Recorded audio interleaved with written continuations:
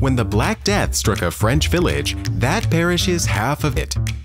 A young blacksmith survivor approaches the Lord of the Manor, chief scientist and chief priest, to ask them about what he must do to prevent another such recurrence.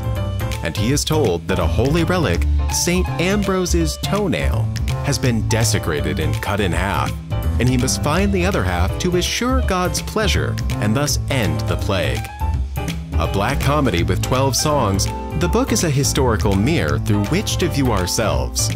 Because when it comes down to it, nothing really changes. A work of satire that juxtaposes real and fictional characters to provide a backdrop to what actually happened 650 years ago. And show that we really are no different than those who we so egotistically mock. The Great Stupidity, a book by Andy Lazris. Available on Amazon, Audible, and www.andylazris.com.